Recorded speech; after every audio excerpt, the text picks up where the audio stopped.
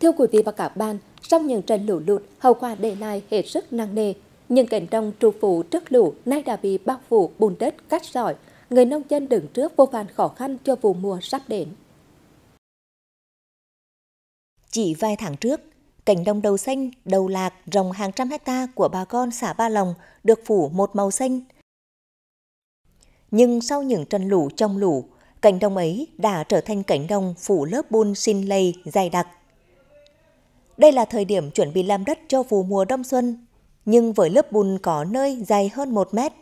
Anh Lê Văn Lành, thôn Tân Xã, xã Ba Lòng cùng bà con nơi đây chỉ biết đứng nhìn và lực bất tòng tâm. Để ta thì chứ hiện tại chứ thì nói chung hơn cũng bôi quả xấu giờ cũng biết làm làm làm làm răng nữa. Giống với mọi năm thì bữa nay thì cũng cay bưa rồi đó. Đất như thế này thì dân chúng tôi thì chịu chắc cũng biết làm răng Tổng diện tích đất sản xuất nông nghiệp xã Ba Lòng là 450 ha. Sau những trận lũ vừa qua, đất đã bị vùi lấp gần 400 ha. Điều đáng nói là khoảng hơn 800 hộ với trên 3.000 nhân khẩu thu nhập chính từ những cây trồng chủ lực ngắn ngày như đầu lạc, đầu xanh, ngay trên mảnh đất này. Đặc biệt, xã Ba Lòng chọn cây đầu lạc là sản phẩm o cóp và xây dựng trở thành thương hiệu đặc sản của địa phương. Tuy nhiên, như tình hình hiện nay, việc khôi phục sản xuất để tạo sinh kế cho người dân là bài toán khó đối với bà con và chính quyền xã Ba Lòng.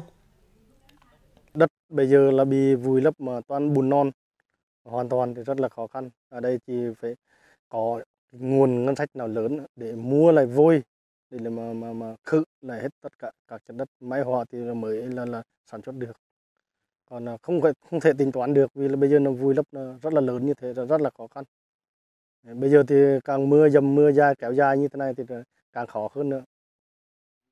Ở vùng trũng đã quen với mưa lũ nhưng người dân xã Ba Lòng cho biết chưa có năm nào mà như năm nay chỉ trong thời gian ngắn lũ trồng nhiều trận lũ. Thiệt hại về sản xuất quá nặng nề.